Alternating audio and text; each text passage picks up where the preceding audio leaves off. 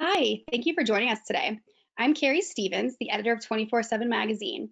Today I'm joined with two of the top movers and shakers in the HTM industry Matt Baretich, president of Baretich Engineering Inc., and co author of Computerized Maintenance Management Systems for Healthcare Technology Management, and Clarice Holden, chief biomedical engineer at VA North Texas Healthcare System.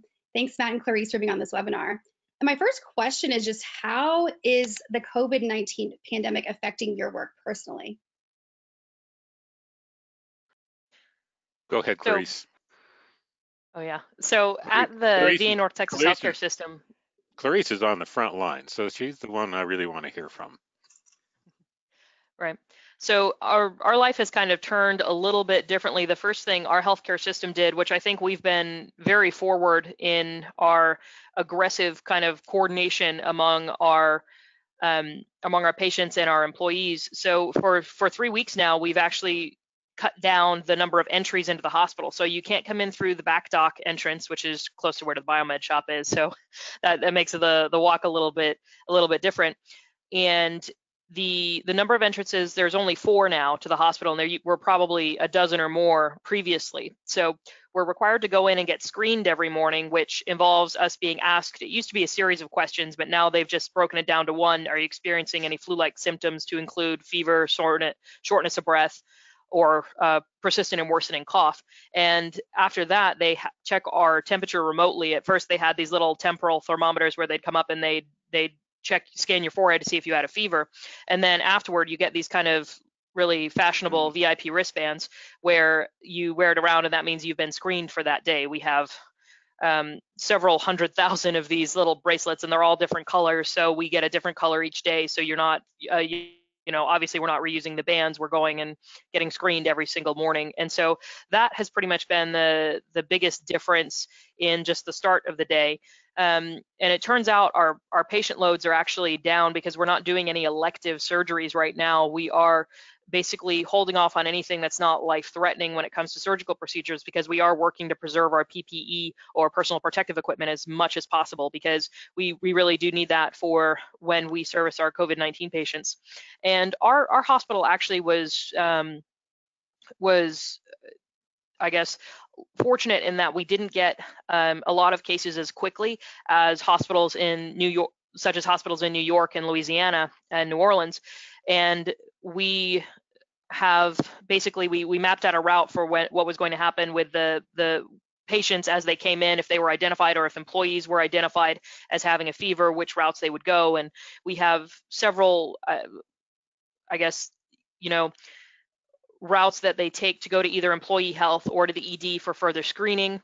And it's basically just everybody coming to this new normal of making sure that we're healthy when we come into work. And we're also following the CDC guidelines, which were published on April 3rd, to be wearing a mask when we're in the vicinity of another person, um, not just when we're, you know, even if we are social distancing, we're still encouraged to wear a mask just because, and mine's actually hanging on my on my computer screen, um, just to protect your own droplets from going anywhere because you can be, you know, transmitting the the disease if you're showing no symptoms. So it's important to kind of just protect others from yourself, which sounds a little, you know, maybe backward, but it, it really is important because I, I think it's something like 2.5 drops of spit every word or whatnot that you're, you know, putting out into the into the air. So it's important even if you are you know six feet away to still have that mask and that's why the cdc changed its guidelines and we're following that around the hospital we're seeing less uh, less calls just because we're we have less patients in the hospital because people are being encouraged to stay in place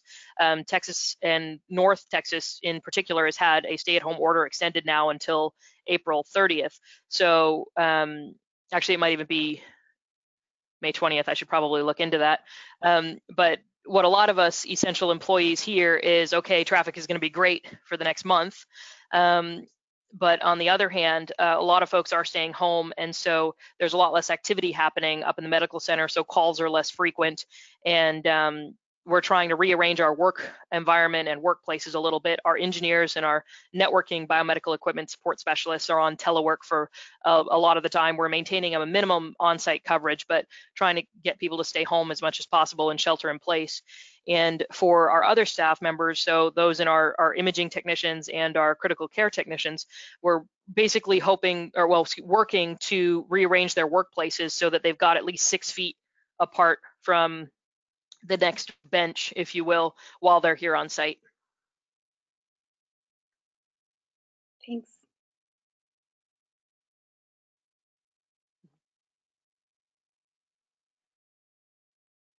For me, in some respects, my uh, day-to-day work is is uh, similar because I do a lot of work remotely anyway. Uh, so um, I'm a lot like many other people, sort of dealing with it in on a personal and family uh, level. I'm so impressed by the frontline workers in HTM, Clarice and her group, and many of the people who are on this, watching this video, and thanks to 24 by 7 for putting this together. Uh, what what I have learned is that sharing information is so important and trying to get good information out so that we can learn from each other. I see lots of really good ideas.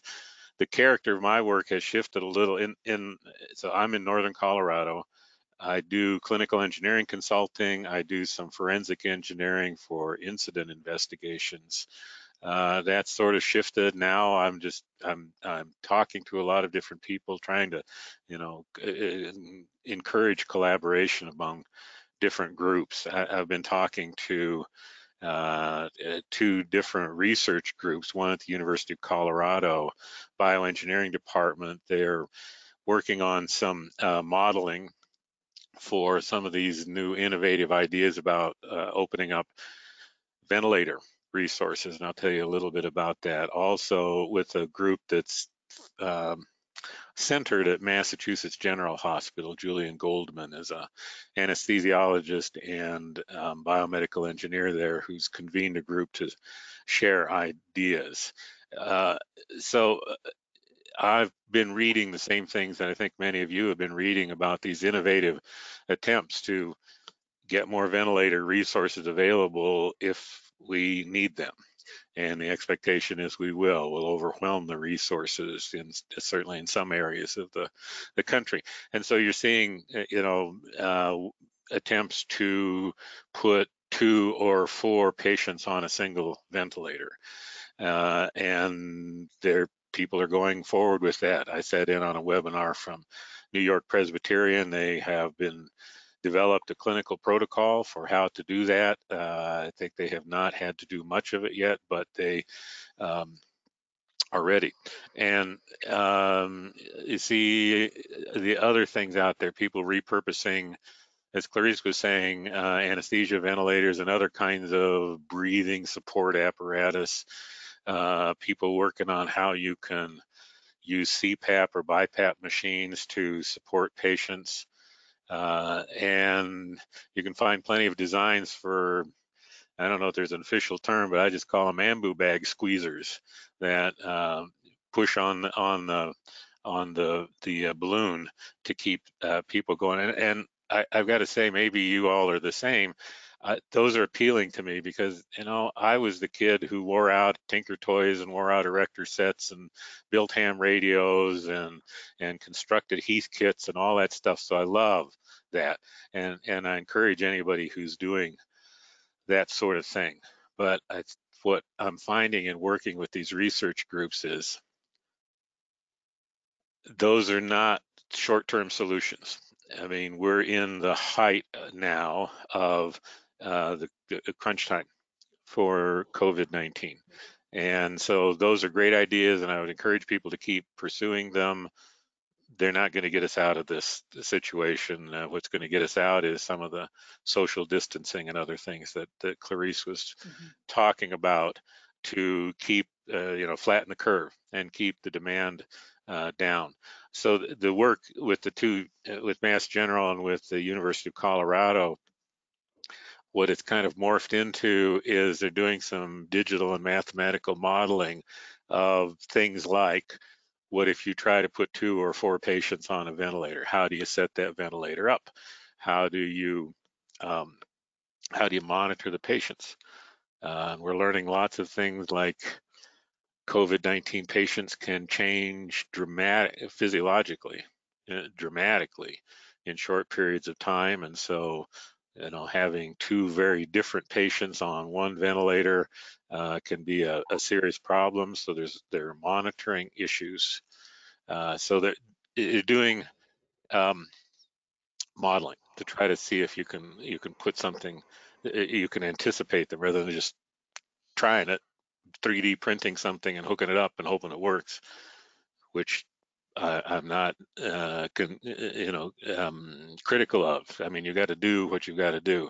The longer term maybe uh, putting some some science and engineering behind uh, some of those things.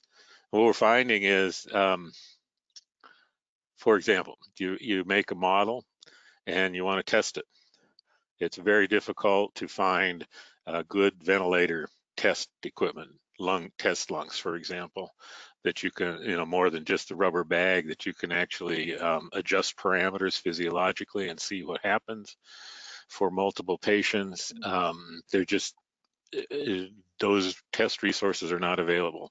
I've tried begging and borrowing and, and uh, everything I can think of, but you can imagine with all of the work going on of uh, you know, Dyson and General Motors and Tesla and whoever else building ventilators, all that test equipment has gone into that kind of thing and into HTM departments to take care of of your own ventilators. And so you, you run into problems. You say, I have a design that uh, I think we need some kind of a solenoid valve and it's a standard product. You can't buy it.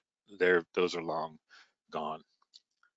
But what I have been impressed with is that uh, in some in some respects, when you do this kind of um, you know create creative innovation, sometimes what you do is uh, sometimes the value of what you do is by discovering things you don't know, by learning new things you need to take into account.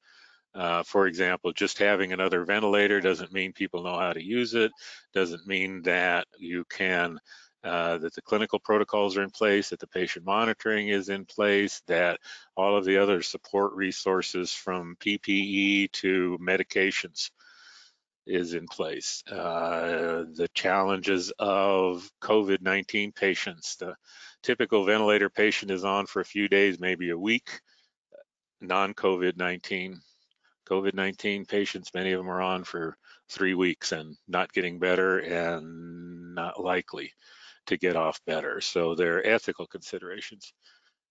But I try to think, you know, how can I take all of that kind of stuff that I'm touching on in, in my work and make it relevant to the people on this video um, webinar, HTM people, for whom I have tremendous respect.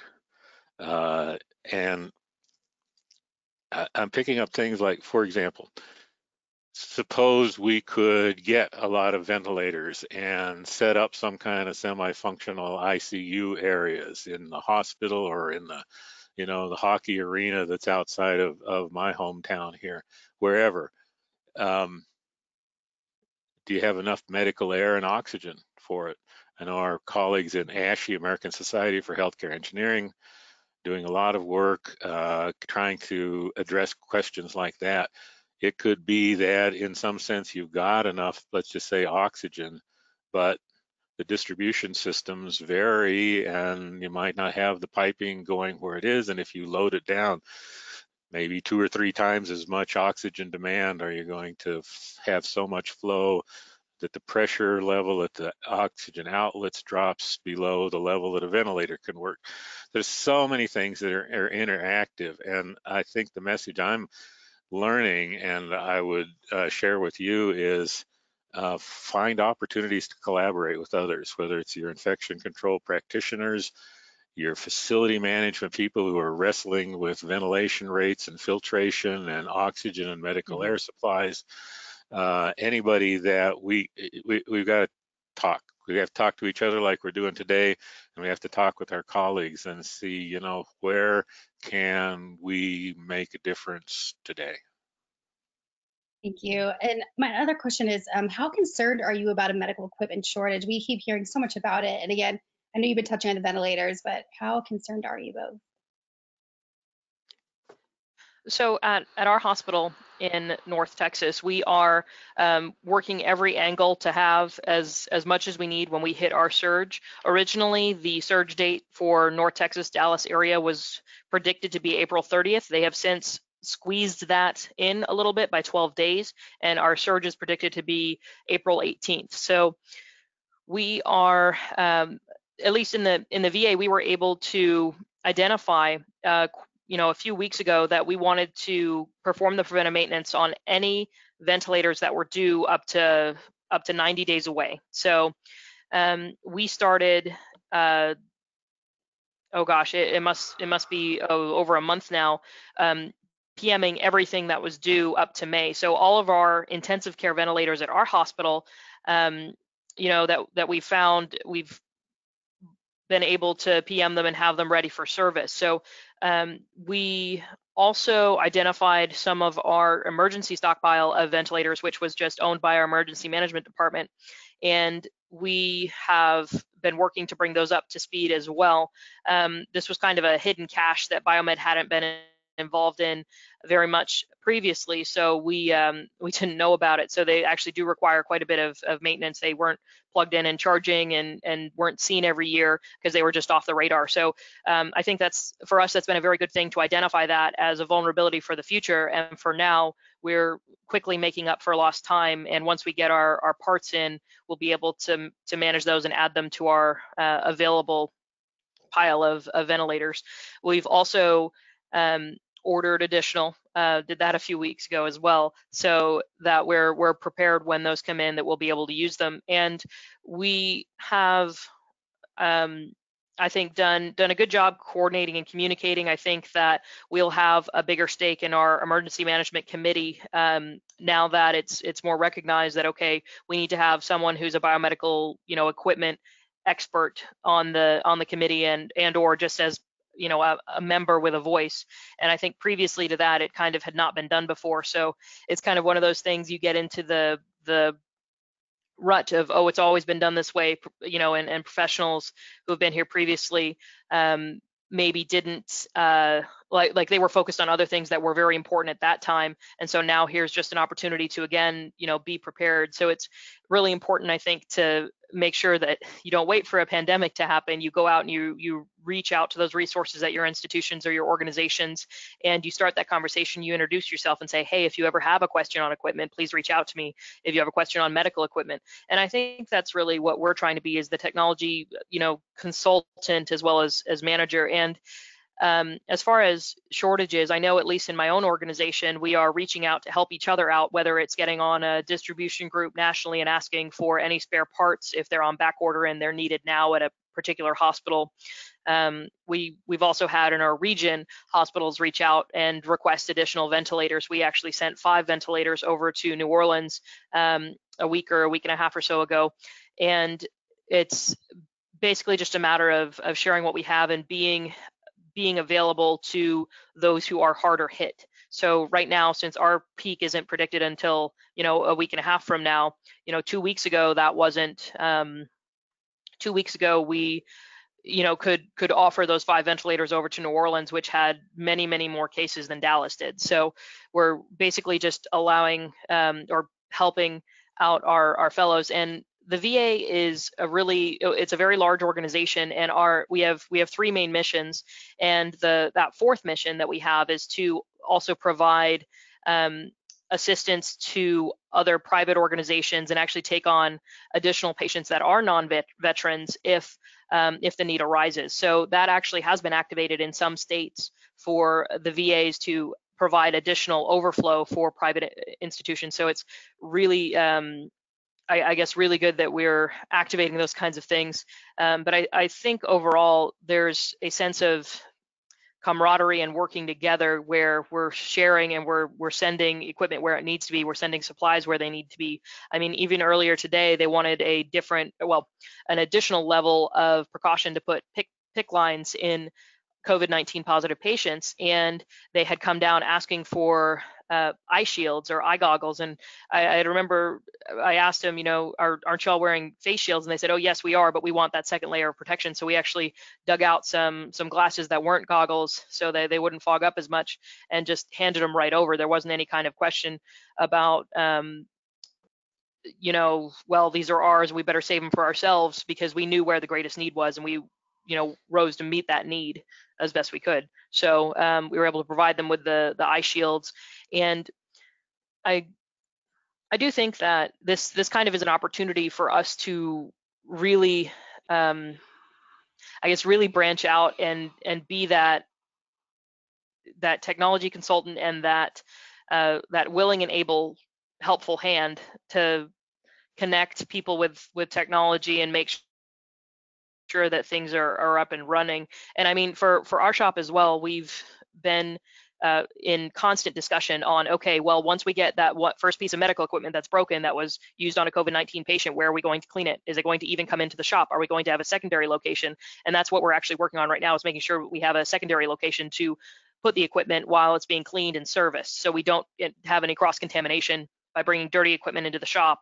Uh, you know even if it's unknown you know we thought it was wiped down but it wasn't quite so there, we're in constant discussion about that. We have um, almost daily meetings with updates, and our, our hospital leadership is actually sending out daily updates to us, keeping us very well informed. So we're, we're very fortunate that we have such a, a good leadership group that is, you know, working very hard to make sure that we have the latest and greatest information.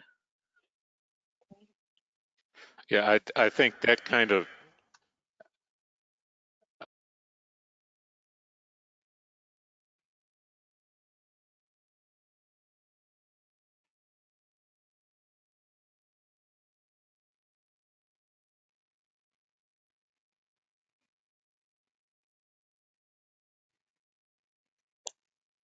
the audio is not working. Yeah. Sorry. There you go. I, I wanted to say, I mean, that, that kind of cooperation is, is essential and it's, it's a very hopeful sign that people are finding ways to work together and places with ventilator more than they need or just sending them across the country to where they're needed and, all, and sharing of information. I think that going forward from this, we're all, we're going to learn what worked and what didn't work and maybe institutionalize that and have some you know be mm-hmm. not have to invent these unofficial communication links and just have them sort of uh, always in place uh, for for future problems there will always be something else coming coming along uh, my question is too so long term i mean how I, I know it's hard to project but how do you think this is going to affect operations in HTM? You know, obviously, I don't think anyone was pre- fully prepared for a pandemic, but but hopefully on the other side, what do you think it will teach us? Well, I think from the the hospital care line perspective, it's going to teach us that um, some work definitely could be done remotely and uh, maybe support a little bit more of um, you know cutting down on commutes or any um, you know contributing to traffic or whatnot um, just on a, a, very surface basic level. I think for my hospital as well it'll it's helped us shore up our security um, being able to lock down all of the entrances except for a very few and having people be screened i think that's kind of shown a light on wow you know we never knew there were this many you know backdoor little little ways in so I, I think overall that's going to be a very good benefit for our hospital to be have well excuse me to to be more secure and to have a, a greater lockdown on on how patients are coming in and yeah. besides that i think it it really has shown a light that you know biomed needs to have contingency plans as well and at uh, at the beginning of all these discussions which my hospital was having those those talks in in January and February we said, well, you know, this is really no different than working with like a tuberculosis positive patient. You know, you've got someone who's going to go into isolation, they've got an infectious disease. And if we are working on equipment that's been seen by a tuberculosis or that's been used by a tuberculosis patient, we need to make sure that it's been wiped down and cleaned prior to, to us being um, in there to service it or bringing it down to the biomed shop to be serviced. So for for us, it people were, you know, were talking about it and getting, you know, really excited before, I, I guess, before it really took off and all the stay-at-home shelter-in-place orders came out. And uh, I was really um, leaning on some of my technicians who have, you know, 30 plus years experience in the field, 40 years experience in the field, and how calm they were, which I really appreciated, because they just said, you know, we work in a hospital. This is our daily working environment. So for us, you know, there might be some change on the outside, but this this is still a hospital. This is still what we're working on. So it's it's business as usual with a heightened sense of awareness. Um, and I, I, think that it'll also highlight. Um, well, I'm hoping it'll highlight to to many young folks because I've seen you know some of the articles that have come out of MIT and some of the uh, ambu bag squeezers that they're working on, and um, it's I, I, am hoping that this also provides an opportunity for HTM to be be seen as a very viable and exciting field to be a part of because servicing medical equipment and keeping it up and operational, you may not think about it. And in fact, it's it's HTM is a kind of a best kept secret in the engineering world. And this kind of gives us an opportunity to be front and center, um, working and striving to bring, um, you know, better healthcare and uh, you know more opportunities to receive healthcare to patients. So I, I think that's that's a really good thing, and I think a lot of biomed shops are going to have um, you know continu- continuity of operations plans um, that are much more robust. And because we've we've been here, we've been trying them out, and I've I've worked in California, I've worked in Texas, and our continuity of operations plans are kind of similar to the natural disasters that generally affect the area. So for Texas, we've got um, we've got tornadoes, we've got uh, floods. In California, the main thing was earthquakes, mudslides, wildfires, and so it was kind of interesting to see some of the differences that the emergency management group groups would take in directing people's plans. And you know, here's an op opportunity to when this is all over, kind of collate all the notes, take the take the data and say, all right, well, in this situation, you know, is it better to have, you know, a separate place to wipe down equipment? Is it better to have a like an infection control barrier at the front of the shop where you only leave the equipment at the front of the shop um, and maybe tailor those types of solutions to your own in institution, your organization to, you know, so for what best fits you for um, some places, if they have enough space to make an ante-room in the shop, that might be a very viable option, um, especially if they're they want to make sure that they're well, if they want to doubly make sure that their equipment is very clean before they set hand on it. Right. And Matt, what do you think? I, I think you said it very well, Clarice. I, I mean, I, one of the themes I picked up in what you were saying is moving beyond, you know, we're shop in the basement fixing stuff to technology management. And we, we mm-hmm. certainly do have the the knowledge to do that. There are some of us in the field who, you know, would are comfortable staying at the bench and saying letting our work speak for itself. But um, I don't know. We probably need to do more thinking outside the basement, if you will, and talk about how um, since technology is such a fundamental part of any kind of healthcare delivery and has been for a long time. Uh, there's still plenty of places around the country where technical expertise is not at the table for uh, selecting equipment or evaluating incidents that occur or planning for for emergency operations.